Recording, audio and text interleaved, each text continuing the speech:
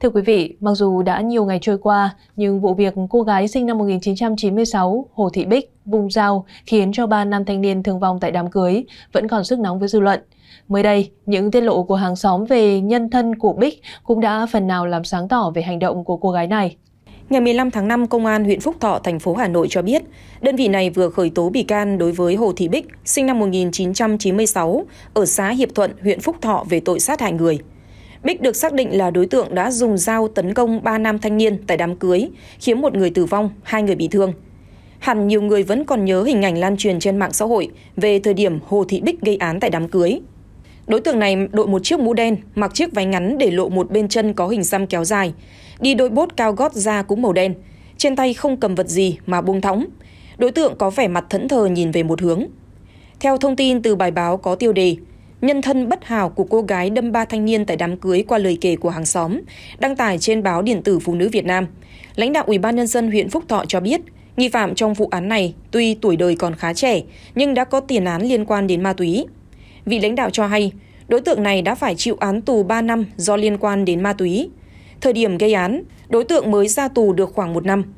Theo người dân, sau khi biết thông tin Bích gây án mạng họ không quá bất ngờ, bởi trước đó ở địa phương Bích đã sống như dân anh chị. Một người phụ nữ 70 tuổi, hàng xóm nhà Bích cho biết, từ nhỏ Bích đã không được ngoan ngoãn như những đứa trẻ bình thường. Gặp người lớn thường xuyên có thái độ không tốt. Người này cho hay, nhà tôi cách nhà Bích mấy nhà, thế nhưng khi gặp Bích ngoài đường, chẳng bao giờ thấy Bích mở miệng chào người lớn tuổi. Chúng tôi cũng góp ý với phụ huynh của cháu nhiều, nhưng cũng không thấy sự thay đổi của Bích. Dù là phụ nữ, nhưng Bích xăm trổ rất nhiều hình trên cơ thể. Người dân chúng tôi nhìn thấy sợ lắm.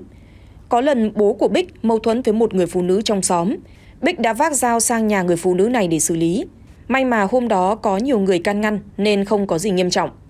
Người phụ nữ 70 tuổi này cho biết thêm, hoàn cảnh gia đình Bích cũng có phần đặc biệt.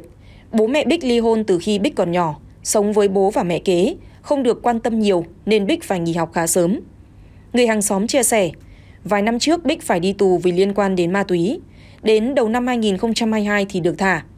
Sau khi ra tù, Bích ít khi xuất hiện ở quê nên chúng tôi cũng không biết Bích làm công việc gì. Thời gian gần đây, bố của Bích lâm bệnh nặng, không biết lần phạm tội này Bích còn cơ hội để về gặp bố nữa hay không. Theo những thông tin ban đầu, nguyên nhân cho hành động hung tợn của Hồ Thị Bích xuất phát từ việc muốn bảo vệ anh họ đang bị nhóm ba thanh niên tấn công hội đồng. Nhưng việc luôn thủ sẵn dao bấm trong người và sẵn sàng vung dao sát phạt người khác dường như nằm ở phần tính cách ngang ngược trong con người Bích đã mất 3 năm cuộc đời để trả giá cho việc liên quan đến hàng cấm. Vậy lần này đối tượng sẽ phải trả cái giá đắt như thế nào đây? Chúng tôi sẽ cập nhật những thông tin mới nhất về vụ việc trong các video sau.